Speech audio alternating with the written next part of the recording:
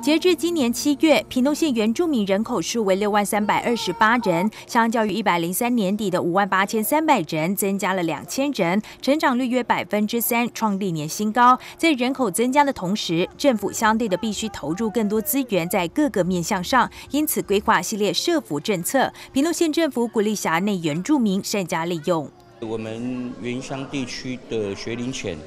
三到五岁。我们提供了一些就学的福利，包括了我们在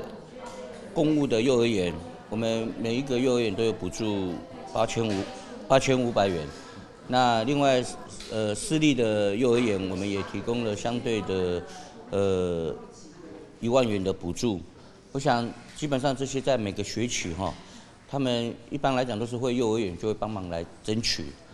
那这是整个对我们学龄前的幼儿园的一个社会福利的一个照顾。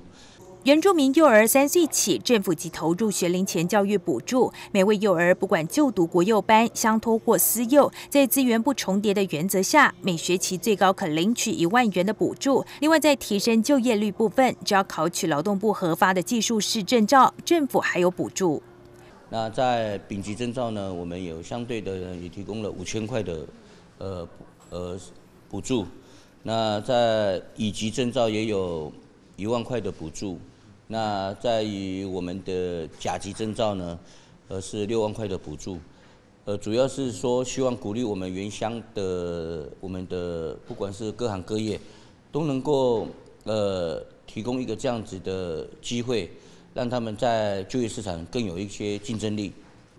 而为鼓励民间企业主雇佣中高龄原住民，县府近年也提供奖助计划。凡雇佣年满四十岁至六十五岁原住民的民间企业，每雇佣一人，奖励雇主每人每月六千元，并奖励受雇原住民每人每月两千元津贴，提升原住民劳动参与率，降低失业率，借以改善原住民生活。欢迎符合各项计划的原民朋友把握机会提出申请。平头新闻张如英、刘建荣采访报道。